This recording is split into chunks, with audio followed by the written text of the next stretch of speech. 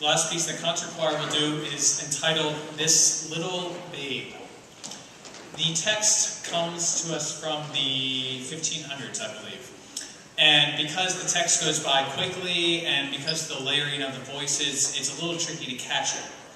But this piece uses a lot of metaphors, a lot of imagery talking about Jesus as a helpless baby and how helpless he appears. But even as he's helpless, the piece contrasts that with what Christ will ultimately do against the power of Satan, how he will fight against the, against the evil one and ultimately will be the one that will be victorious.